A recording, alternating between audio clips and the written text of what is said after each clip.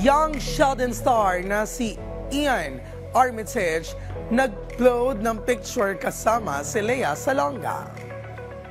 Another spotty fanboy of fairy legend Lea Salonga nag-upload ng larawan sa kanyang IG account ng young Sheldon actor ni si Ian Armitage kasama si Lea Salonga. Kalakip ito ang selfie kasama naman si Bernadette Peters. Sinamahan ni Ian ang nasabing post ng caption na I'm glad MG 2023 included getting to see these two incredible women on stage.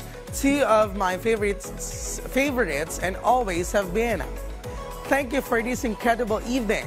Obvious na nasabing post na isa si Ian sa mga big fan ng dalawa na magkasama ngayon sa West End run of Stephen Sondheim's All Friends na tila naging comeback ni Lea sa West Run 27 years matapos ang Les Miserables. Si Ian ay best known sa kanyang portrayal ng character na Sheldon sa Young Sheldon, isang prequel series ng Big Bang Theory na, na pinagbibidahan naman ni Jim Parsons.